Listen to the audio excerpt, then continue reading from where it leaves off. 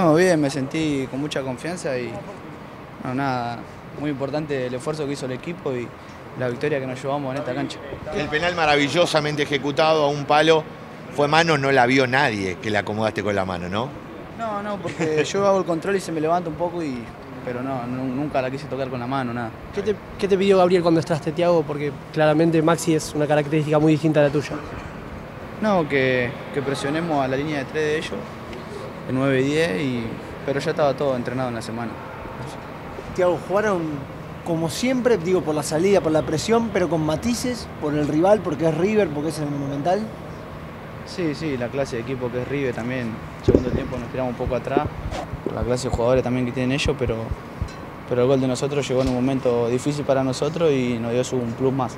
La victoria es importantísima por ganar de visitante, por ganar a River. A este River se vio un festejo descomunal desde ustedes, el cuerpo técnico y parte de la delegación de Vélez.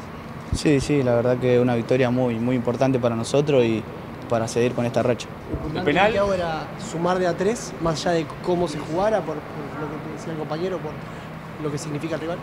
Sí, sí, creo que en todo momento nosotros vinimos a buscar los tres puntos. ¿Tenías decidido el penal? ¿Cómo fue? No, no, la agarré yo porque quería patear y sí sabía que Armani siempre la se tiraba cruzado y por eso abrí el pie. Tiago, no dudaste en ningún momento, ¿no? Porque ni bien te hacen el penal, ya vas rápido a buscar la, la pelota. Digo, ¿qué sentiste en esos segundos antes de, de patear un penal muy complicado? No, nada, estaba con mucha confianza y que iba a ser gol. Nada más. Dándose este gol después de todo lo que se habló de la renovación, llega en un momento bárbaro. Sí, sí, espero que, que sigamos por esta racha y bueno, ahora a disfrutar con mi compañero.